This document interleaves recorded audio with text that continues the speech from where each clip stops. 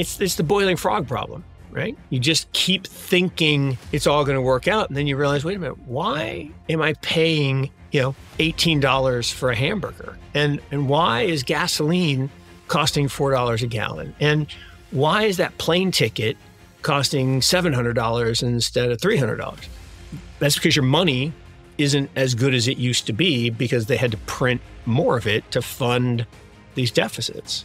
The U.S. Federal Reserve made a major statement last Wednesday on the Bank Term Financial Program, BTFP, a vital financial lifeline that was first formed after the regional banking crisis last year. This announcement marked a turning point in the ever changing world of global finance. While the circumstances that precipitated the first phase of the crisis remained, the decision put an end to rumors about the program's extension. Remarkably, the Federal Reserve not only announced that the BTFP would end as planned in March, but it also went ahead and raised interest rates on new loans until the end of the program. The interest rate on new loans is now set to match the interest rate on reserve amounts on the day of the loan, which has significant ramifications since it would boost borrowing costs by about 50 basis points. Experts predict that these high rates will deter new loans, therefore ending a once favorable and lucrative arbitrage opportunity for lenders. But in the midst of this financial panorama, an opposing viewpoint surfaces. Hedge fund manager and well-known investor Mark Yusko advises against the Federal Reserve's decision to stop supporting. According to Yusko, the United States passed a turning point last year, analogous to what happened to Japan when it decided to stop quantitative easing in March of 2006. Yusko asserts that the economy can no longer run itself without monetary intervention, and that the Federal Reserve is at a turning point where innovative actions are necessary. In this video, we explore Mark Yusko's perceptive viewpoint as he discusses his forecasts and cautions on the actions of the Federal Reserve. Come along as we break down the complexities of the current financial scene and consider the possible effects of the Federal Reserve's actions on the larger economic picture, all while presenting you with excerpts from Yusko's most recent interview with Blockworks Macro. Let's hear what Mark Yusko is about to say. I thought this temporary program would, would have to be permanent. You know, look,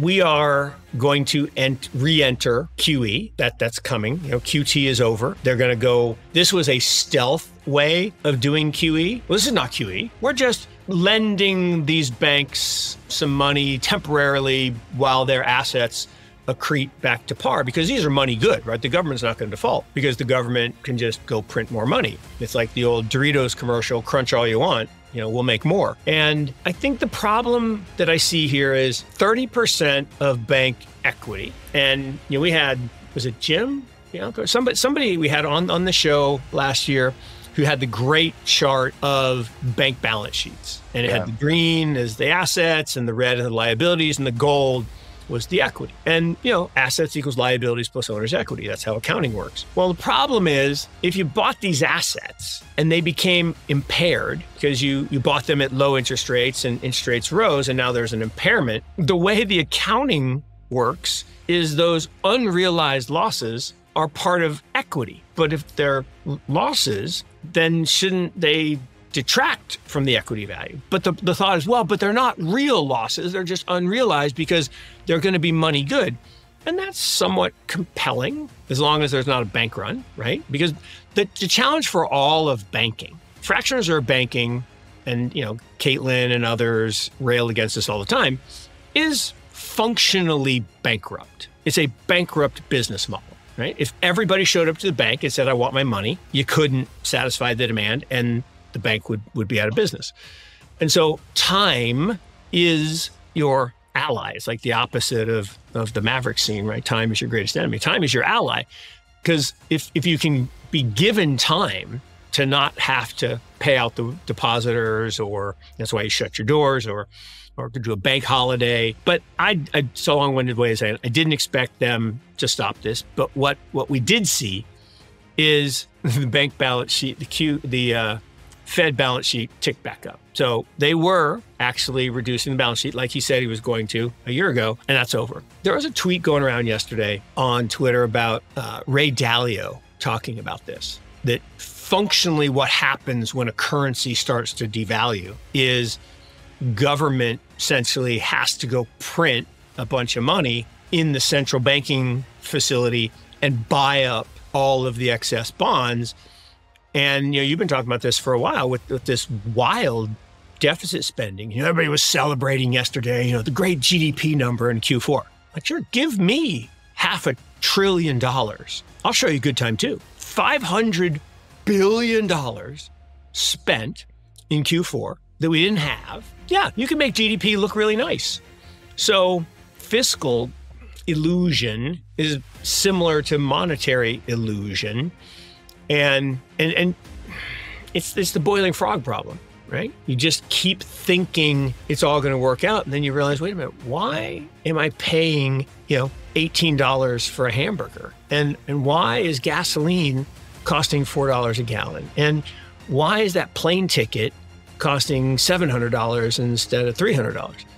That's because your money isn't as good as it used to be because they had to print more of it to fund these deficits.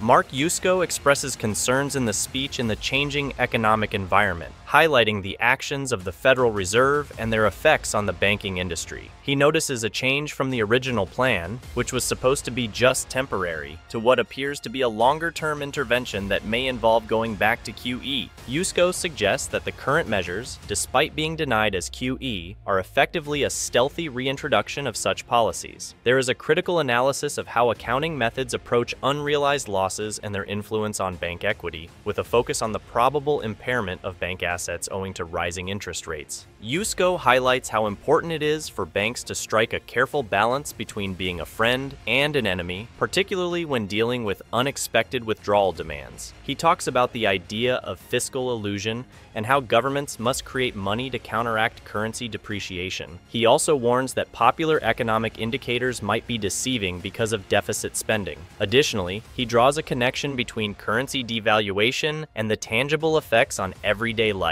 such as escalating prices for goods and services. All things considered, Yusko's statements highlight his worries on the possible long term effects of the present economic policies on the banking industry and the overall economy. Let's hear what he has to say next. There was an auction It was bad. It wasn't failed, it wasn't a tail, because those primary dealers have to buy no matter what. Um, but if you ranked it between, you know, four and and nine, it was a four. I mean, it was it was ugly. And so, does that mean the end of the world? No. Does it mean that we are we're reaching a point that is again unsustainable? Yeah. And and everyone's seen the, the chart, and I wish someone would fix the chart crime. You can't show a 40, 50, 60 year chart in linear scale. You just can't do it it's it's so egregious. And what it shows is, you know, here's the interest on debt, and then the expectations in the next three years it goes totally vertical. No, because the difference from going from zero to a trillion is very different than going from one trillion to two trillion. It, it just is. And yes, that next trillion is a lot, but the percentage growth is is not the not the same. And so they just they just need to fix those charts. But but things that can't happen won't happen, right? So if if the you know we're at the point now where the interest expense as a percent of the budget is reaching the upper bound that it's never reached, that 21% level. So you say, well, why won't it go to 30 or 40 or 50%? If rates are higher today and we got to refinance all this debt that was, you know, has zero rates or 1% rates, and now it's got to refinance at four or five, then then the interest rate is going to go beyond that. Nope. I mean, they'll they'll either, right, buy the bonds and retire them, right? Do some sort of debt jubilee. They'll uh, they will lower interest rates, despite the fact that we don't need lower interest rates unless there's an emergency. But there is an emergency, so it's just a different kind of emergency. And in the death throes of empires, this is what happens. And we've been talking about this a lot. And and it doesn't happen over a month or a year.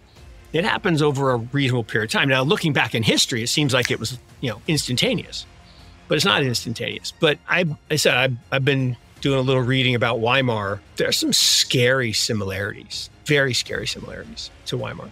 And I'm not saying we're all going to have wheelbarrows of cash. I'm not there yet, but I, I, there are there are some scary similarities. There are. Mark Yusko talks about the ramifications of a recent auction, although it didn't fail, presented a number of difficulties, especially for the principal dealers who have to make the buy. While not necessarily indicating the end of the planet, he argues that this highlights an unsustainable trend. Yusko expresses dissatisfaction with how economic data is presented, critiquing in particular the use of graphics that understate the seriousness of the issue. He makes the case for more realistic representations, and contends that knowing the percentage rise in debt is essential to appreciating the seriousness of the problem. Regarding interest rates and the national budget, Yusko highlights a worrying trend in which the interest expenditure as a proportion of the budget is getting closer to all-time highs, and may perhaps surpass 21%. Given the necessity of refinancing debt at higher rates, he doubts that this proportion will rise much more. Yusko makes predictions about possible outcomes, such as the government issuing bonds, paying them off, or enacting a debt jubilee. Although there isn't a pressing need for lower interest rates right now, he says that they may be pursued in the event of a different sort of emergency. Yusko draws historical comparisons between the current state of affairs and the fall of civilizations, stressing that these changes take time to happen. Although he does not anticipate a scenario of hyperinflation with wheelbarrows of currency, he does note disconcerting parallels with past economic downturns, suggesting that difficult times may lie ahead. Until next time, happy investing.